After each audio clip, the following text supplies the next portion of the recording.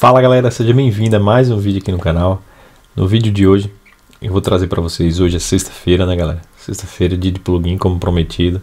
Segunda-feira acabei fazendo outro plugin, mas era um plugin muito requisitado, então adiantei, já lancei na segunda passada. E no vídeo de hoje, eu vou trazer um plugin bem legal. É um plugin para você ver a força da senha, tá? Do, do input, quando você for cadastrar alguma senha, cadastrar o usuário é, você coloca lá um visual para o usuário ver se a senha dele está forte ou fraca, tá? E além do plugin, nós vamos pegar esse plugin que já vai vir prontinho. Eu vou passar tudo que a gente precisa colocar nele.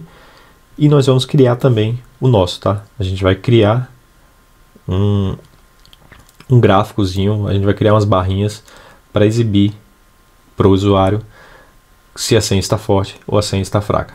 Senha forte é o que? Senha forte precisa no mínimo 8, 8 caracteres, né? Contendo letra maiúscula, minúscula e símbolo. Isso é o mínimo para ter uma, uma senha razoável. Razoável não, uma senha forte já, tá?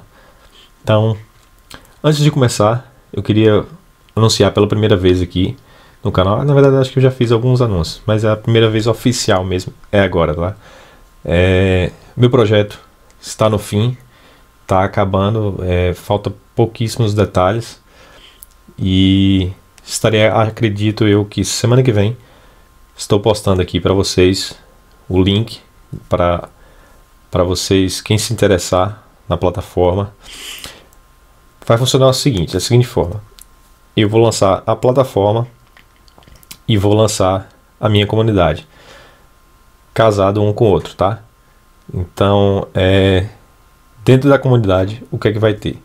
Dentro da comunidade, eu vou postar vídeos exclusivos lá, tá? Somente para quem for membro da comunidade. E semana que vem eu vou entrar em mais detalhes, não vou falar muita coisa.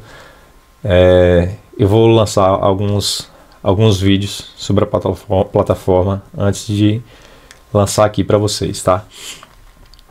E vou deixar o link também na semana que vem, acredito, segunda-feira eu deixo o link para vocês aí, para vocês, quem tiver interesse, já ir se cadastrando lá na lista, na lista de espera, tá? Do lançamento. Mas antes de começar, não esquece, se inscreve aí no canal, tá? Se inscreve, aperta o botãozinho aí, já deixa seu like e bora lá, bora pro vídeo.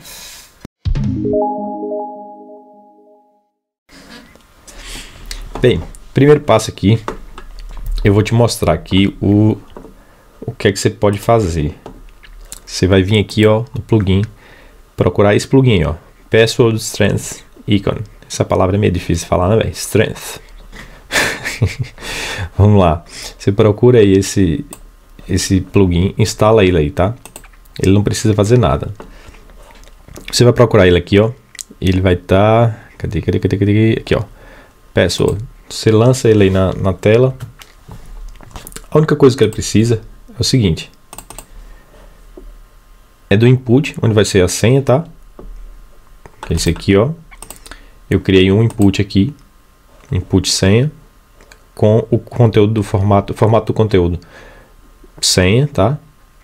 E você vem aqui no, no, no plugin, você vai puxar o seguinte, você vai puxar o item, o input senha, password strength, tá? Aqui, ó. Somente isso. Beleza. E aqui a gente vai mostrar o que? Até 70 ele vai mostrar vermelho, tá? Que tá fraca ainda a senha. E ele vai mostrar amarelo até 85. A partir de 85 ele vai ficar verde, tá? Informando ao usuário que a senha está ok. Beleza. Eu vou ocultar isso aqui só para a gente não, não visualizar agora. Isso aqui é o nosso a nossa barrinha que a gente vai fazer. Vou mostrar para vocês como é que a gente pode fazer isso sem utilizar plugin, que aí pode ser fazer, você pode fazer algo mais personalizado, né?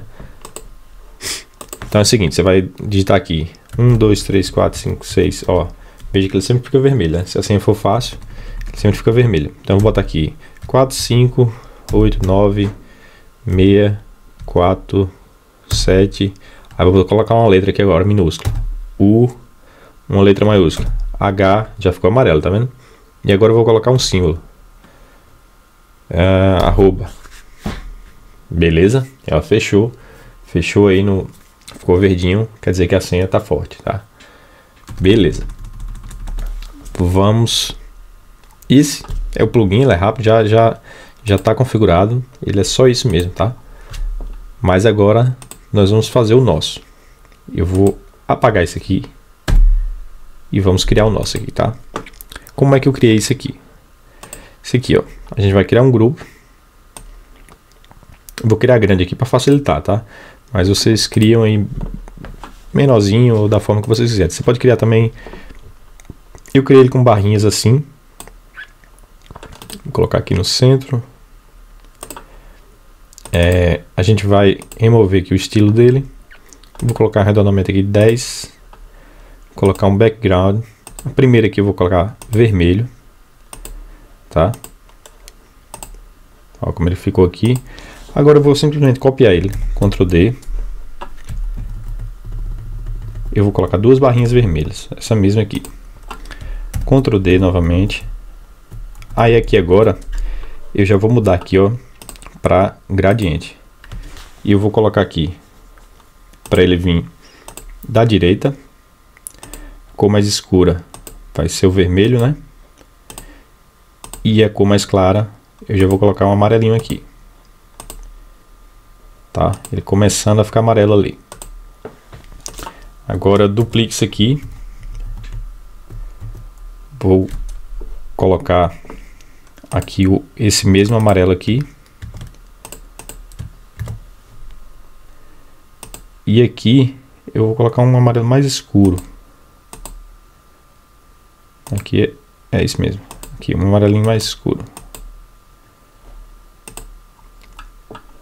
Beleza. Vou duplicar novamente aqui um, dois. Aqui eu vou colocar agora, ele vai ser o que? Amarelo. E no final aqui, opa, tá errado. Vamos voltar isso aqui. Aqui eu vou colocar um verde.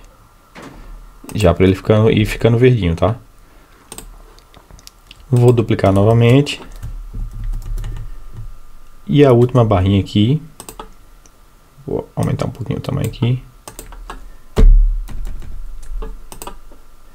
E vou colocar ele todo verde. Copiar essa cor aqui, colar, tá? Beleza, fica bem bacana, né? Dá um, um efeito gradiente aí massa. Então, seguinte, o que, é que a gente vai fazer agora? A gente vai vir nos grupos e fazer o seguinte. Vai colocar um condicional nele aqui. Primeiramente, a gente coloca todos invisíveis, tá? A gente vai deixar todos eles invisíveis. Ele não é vai ficar visível quando eu carregar a página. Então você desmarca essa caixa aí, tá? Em todos os grupos. Fazendo passo a passo para você ver aqui tranquilamente. Beleza. Agora você vai vir aqui, vir condicional e colocar um condicional. Qual é condicional? Quando o input, cadê o input? input senha. Aí aqui, ó, password strength, tá? strength. Esse password aqui, você puxa ele aí. E agora você, a gente vai colocar aqui, ó. Quando a força da senha for maior ou igual que 10, esse elemento vai ficar visível. Agora clica no botão direito, copia essa condição e vamos colocar no outro. Colar quando for maior ou igual a 20, vou colocar 25. 25, ele vai ficar visível. Mesma coisa aqui, copiou, colou, maior, aí você vai colocando os valores que você quiser aí, tá? 38. Aqui vai ficar amarelinho com quanto? Com Vamos botar ali agora já um pouco mais alto, 65. E agora aqui, copiar, colar novamente. Vai ficar verdinho ali. Quando tiver... 8, não, 75, né? 78 e 10 a mais. E agora o último, quando tiver acima de 85. Isso aqui eu estou colocando pra mim, tá? Tô, você poderia colocar 90. Vamos agora testar isso aqui, como é que tá ficando isso aqui. Lembrando, sempre preciso de no mínimo ser 8 dígitos, letras maiúsculas, letras minúsculas e símbolos. Então vamos lá. 1, 2, 3, 4, 5. Ó, ele só aparece vermelho, igual o outro, tá? Só aparece o. Se for assim fácil, ele não aparece o amarelo. Então vamos lá. 4, 8, 6, 5, 2, 9, 8, 7. Ó, já ficou mais ou menos, né? Já deu uma senha mais ou menos, mas ainda tá perigosa a senha. Então vou adicionar aqui uma letra L minúscula. Vou botar uma letra maiúscula agora, O, diferente, já ficou amarelinho, né? E agora eu vou colocar um símbolo, arroba. Pronto, fechou. Ele fechou verdinho no plugin e fechou verdinho também no nosso aqui, tá? Então essa é uma forma bem massa de você é, informar para o seu usuário. É bem interessante você colocar algo desse tipo para até ajudar o usuário na hora de ele criar sua senha, tá? Então, mais uma vez, se você gostou desse vídeo, não esquece. Se inscreve aí no canal, deixa seu like, tá? Se inscreve lá no grupo do Telegram. E não esquece, semana que vem tem novidade no canal, tem novidade da minha comunidade que vai sair. Vai sair minha plataforma, tá? Então, semana que vem, entra aqui no canal, procura o link que vai estar tá aqui no canal, tá?